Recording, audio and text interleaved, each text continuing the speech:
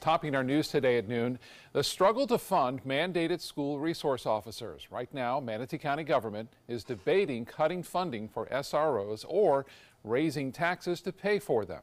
ABC 7's Jess Dowdrick joins us live from the commission meeting in Bradenton with the latest this afternoon. Jess?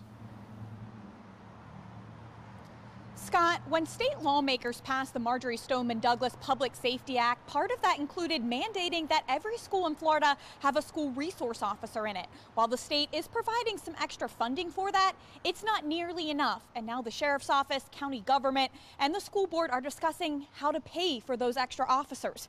The Manatee County Sheriff's Office has hired an additional 34 deputies to ensure there's one deputy in every elementary, middle school, and two in every high school. According to Manatee County government, government, that costs $5.6 million.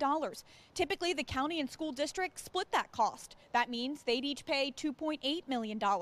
Last year, the county only paid 900,000. Now, county commissioners are saying they'd have to raise taxes in order to continue to pay their half of that 50 50 split for SROs. So we all have to look at this fiscally. I'm all for supporting you guys. We have not raised our millage since 2009.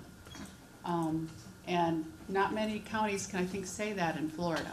We've got to look at, it, at this where we can help you and we can still help us and us be solvent.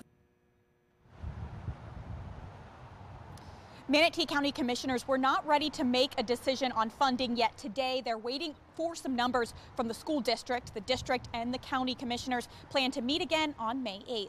Reporting live in Manatee County, Jess Aldrich, ABC 7, your Suncoast News.